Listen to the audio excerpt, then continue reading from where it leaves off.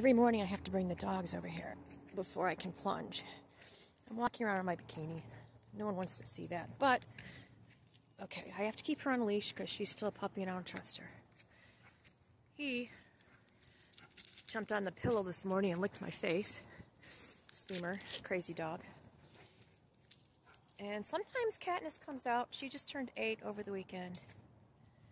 Um, but I have to announce my release of the hounds every morning now because a lot of people use the green belt and I can't leash all three of them.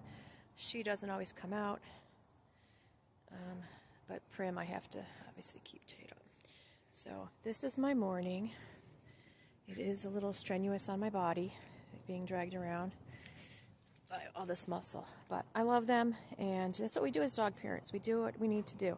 Basically, she's just eating grass like a goat. Um, and then they'll go inside and have breakfast, and I go plunge. So these are my kids. We do what we do to take care of them. So you guys do what you need to do. Have a great day. Do fantastic things because I know you will. Talk to you tomorrow. Bye.